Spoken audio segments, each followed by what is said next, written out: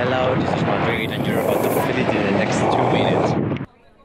Well, I'm realizing I might only have 1 minute 40 left or so, but whatever.